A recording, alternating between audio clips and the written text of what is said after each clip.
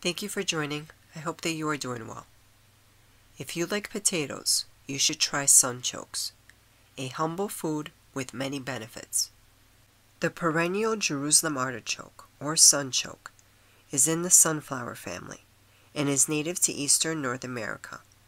It provides a long season of yellow 3 to 5 inch flowers on top of 6 to 10 foot stems. In the ground, delicious edible tubers grow and can be harvested any time from late fall until the ground freezes. Similar in appearance to ginger root, the slightly sweet tubers have a nutty flavor that some compare to artichokes. They're delicious roasted, skin on, with a drizzle of olive oil.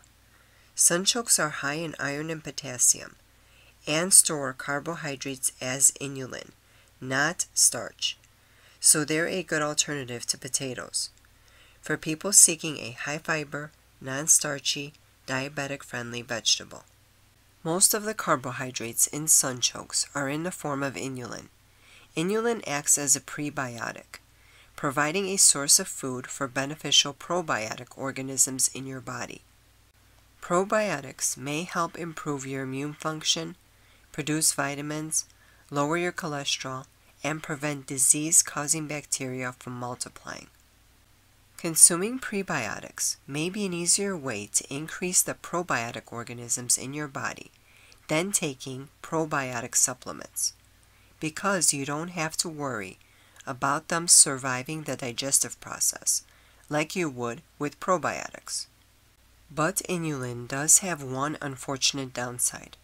Consuming too much inulin, more than 10 grams a day, can make you gassy.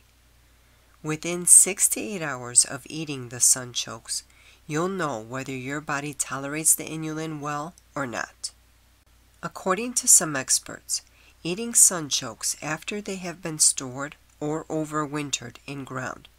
Encourages the inulin to convert to sugar, thus eliminating gassiness. Fermenting the sunchokes may also eliminate this. As your body gets used to this new food, you may be able to increase how much you eat without the gassy side effects. Thank you for watching. Good day and good health.